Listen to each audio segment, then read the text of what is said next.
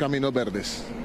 Tropas de la Brigada 30 del Ejército vigilan las trochas que permiten el ingreso al área metropolitana de Cúcuta desde el estado venezolano del Táchira. Hacen parte del aumento en seguridad anunciado por el gobierno colombiano.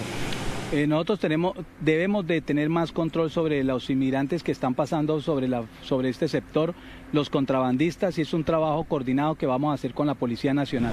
Más de 2.000 hombres entre soldados y policías están patrullando toda la línea fronteriza. Eh, tenemos en este momento 10 pelotones que están establecidos en la línea fronteriza desde la parte alta, desde Tibú, hasta el sector de de los puentes internacionales. Los operativos sobre las trochas se mantendrán indefinidamente.